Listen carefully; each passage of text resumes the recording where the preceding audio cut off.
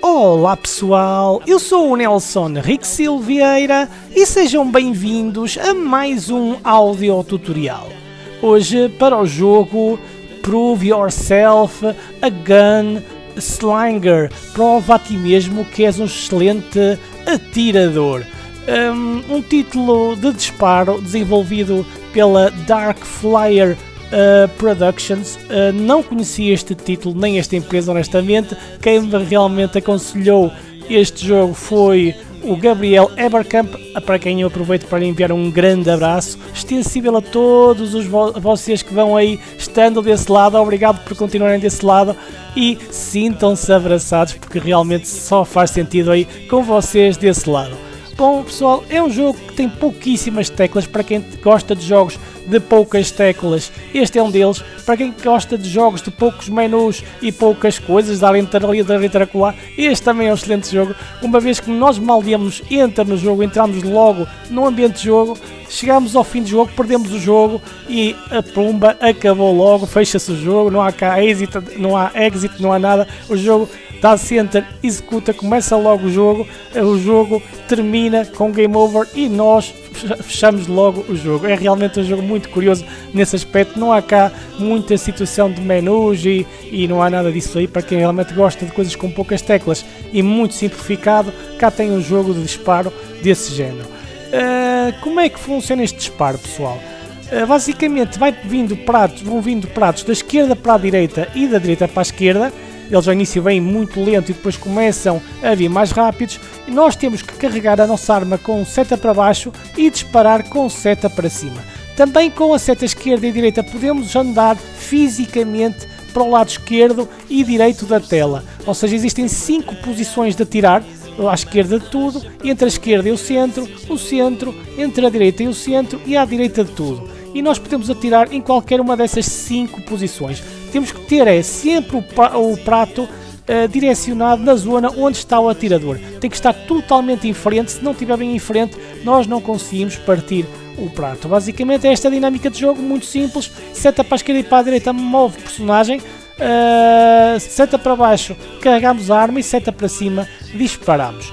O jogo é feito sempre, se não me engano, com 6, 5 ou 6 pratos, acho que são 5 pratos, não são 6, são 5, já não sei muito bem em cada rodada, se nós conseguirmos destruir pelo menos um desses 5 ou 6, uh, eh, nós passamos de nível. Só não conseguimos passar de nível se porventura todos os pratos passarem por nós e nós não conseguirmos destruir nenhum.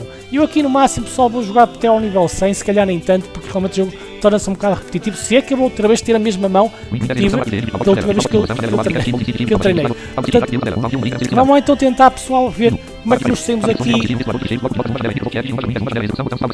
neste. O jogo é só descompactar, depois é só executar este arquivo aqui. Slanger.exe. Não estou por o NVDA mais lento, pessoal, porquê? Porque o jogo não precisa de leitor de tela. Isto aqui não é preciso nada, é só disparar e está a andar. Vamos dar enter. Round 1. Round 1. Puxei com seta para baixo. Senta. E parti com seta para cima. Seta para baixo. Oh, olha aqui eu mexer das... Oh. Ali mexemos da, da, da. Oh, esquerda, direita, centro. Se não está no centro, seta para cima e destruímos o prato. Em quinto prato. Muito bem. São seis. 248 points. São seis pratos Round por cada two. ronda, pessoal.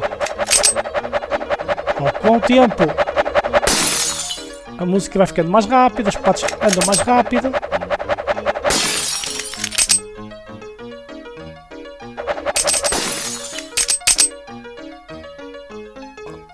Eu, mal ele apareceu ali na, na esquerda partiu. 505 points. E Round 3. Vão sempre crescendo.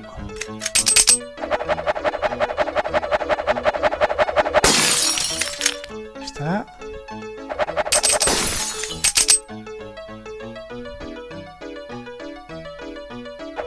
Direita, direita e seta para cima. Agora andei esquerda, esquerda, voltei para o centro.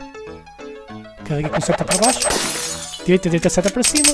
Esquerda, carreguei a arma com seta para baixo. 766 points. Destruído. Vamos Round passando de 4. nível. Já vamos para o round 4, que é a ronda 4. Ou rodada 4, ou nível 4, como queiram chamar. Neste caso é, é rodada.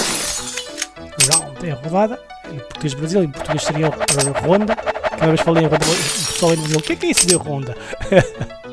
é rodada, pessoal. Pronto, vamos aqui destruir os nossos pratozinhos, para já não falhamos nenhum tiro. 1020 points. Round 5. Nível 5. Mais um prato que foi para o brejo. E mais outro prato que foi para o brejo. Outro prato que foi para o brejo. Que foi para o brejo. 1267 points. Round 6. Se perdeu na dinâmica, pessoal. Vamos para que chegar ao centro.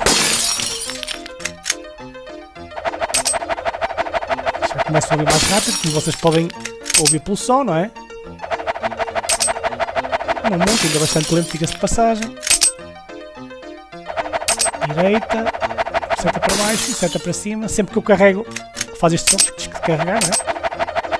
Depois seta para cima. para disparar. 1515 points. Round 7.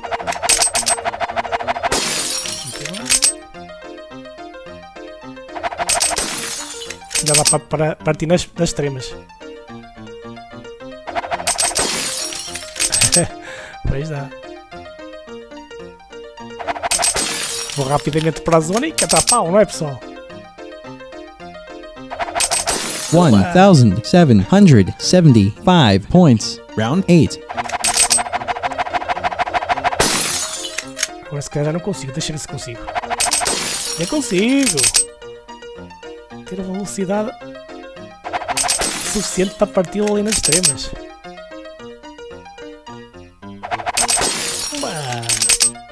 Ihá! 2,035.9. É Round 9. Ai, ai. Tá? Deixa eu ver se eu consigo. Ui, mas não tá apertada. Mas ainda dá. Para partir mal o prato saia. Neste caso faço duas vezes seta para a direita, seta para cima. 2293 carregar. points. Round 10. E dispara outra vez. Atenção. Aí, cuidado, que já começa a andar mais rápida. Ainda dá. Com isto já vamos na rodada 10, pessoal. Um bom exercício para vocês treinarem os números em inglês. 2552 points. Round 11. 11.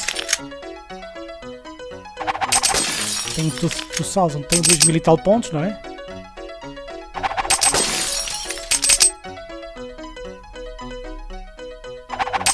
Ainda não falhamos nenhum tiro, é?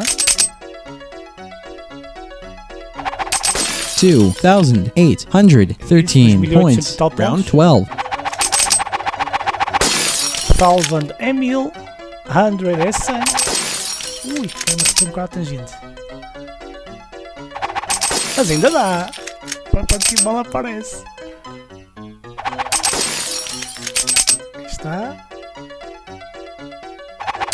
3068 points. Round Fiz 13. então.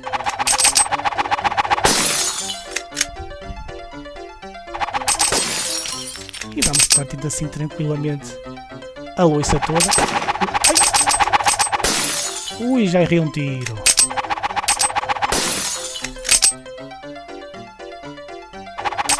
Three three hundred twenty-three points. Round 14. É para ter uma piada, não é, pessoal? Senão... Dá. Toma! Bola parece tal! Obviamente, pessoal, este jogo faz só sentido jogando com Three thousand five hundred seventy-seven points. ou Round ter um 15. excelente sistema de som estéreo. Ui. Caramba, quase que este prato, mas não falhei.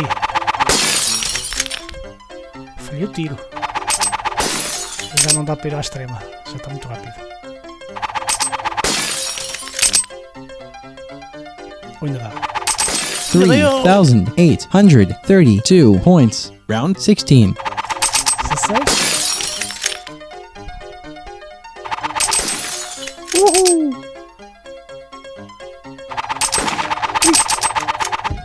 Olha, parti- falhei, falhei aquele prato.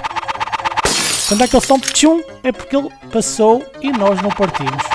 4,035 points. Round 17.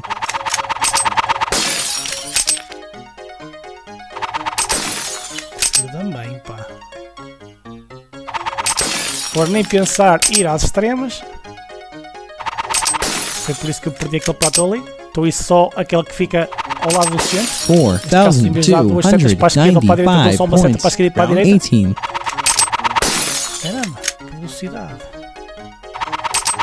E o jogo agora com mais velocidade, menos fica um pouquinho mais interessante, não é pessoal? Não é que aumente muito o grau de dificuldade, não vou dizer que ele seja um grau de dificuldade elevado, não é.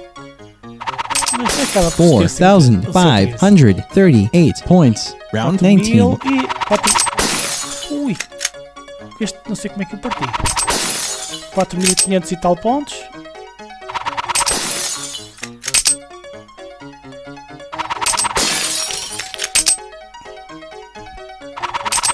Four thousand seven hundred seventy-six points. Round 20. Uh!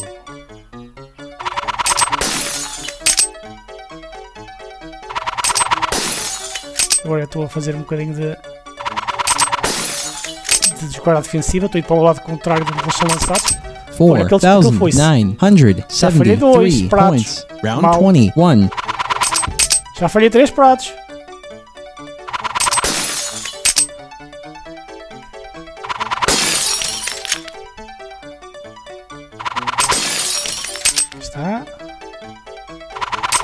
5,179 points. Em continuação, procure a próxima parte.